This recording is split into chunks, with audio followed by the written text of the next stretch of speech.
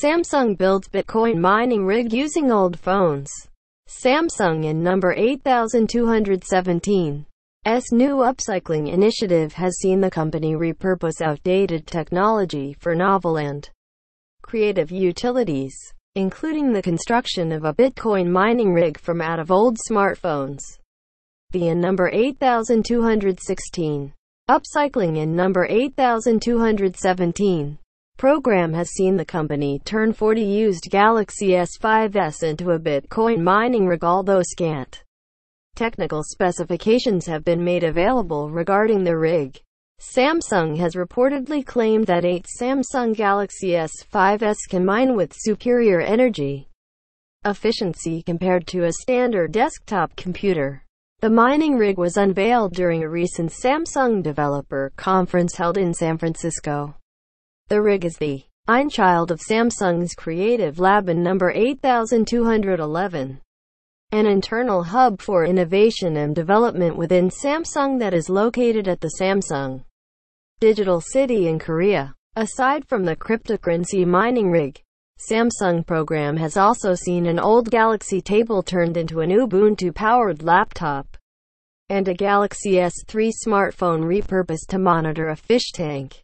The company has also utilized an old phone featuring facial recognition software as the basis for the home security system. Samsung plans to make its upcycling software available to all. The company has pledged to make plans for the showcase projects freely available online. In addition to the software that allowed Samsung's Creative Lab to unlock and repurpose old phones.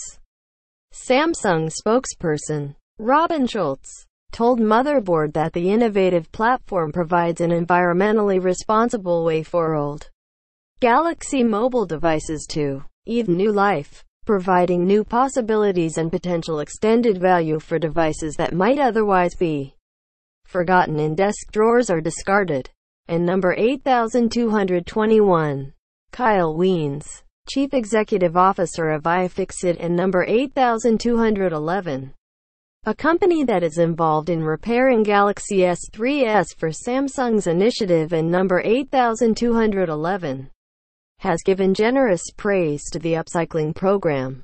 Wiens stated in number 8220, What Samsung built is a layer between the hardware and you being able to install anything you want on it. It in number 8217, SA step lower than jail. EA King it in number 8217. S. Removing Android entirely. Wiens describes the initiative as circumventing the challenge with keeping old electronics running. A long time is software. And number 8221. Adding that and number 8220. With phones in particular, the old software is insecure and DOESN and number 8217. To run the new apps. So the question is, if you have this perfectly functional piece of hardware that DOESN and number 8217 T have good software anymore and you want to keep it running for 10 years. How do you do that? And number 8221 Wiens describes the project as having the potential to bolster the secondary market value of outdated Samsung devices when states that and number 8220. Samsung wants to maintain the value of their devices long term. If they know they and number 8217 re going to justify a new price of $1,000 for a new note. It and number 8217 S easier to get people to spend that $1,000 if they can resell it for 500 and number 8221. Samsung currently hosts a placeholder GitHub for the upcycling project.